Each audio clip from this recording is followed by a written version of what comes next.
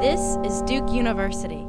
Mechanical engineering, public policy, political science, mathematics, psychology, and markets and management studies, economics, and statistics, history, biology, electrical engineering, computer science.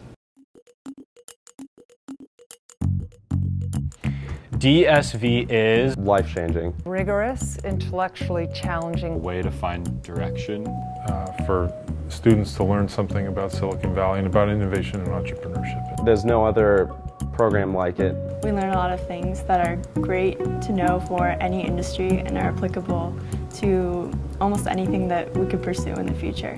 We learn a lot about just different frameworks to think about disruptive versus sustaining innovation. First few days were very intimidating. Uh, it, the class is filled with a lot of big thinkers and I love it.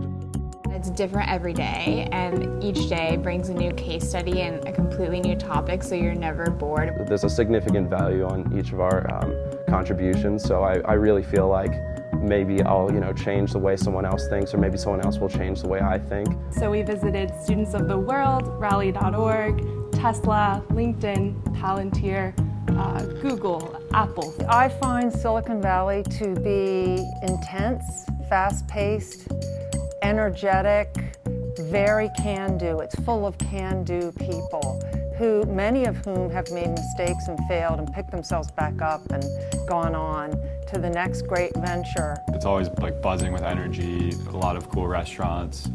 DSV students are a very eclectic group of people. Driven, uh, passionate, and fun.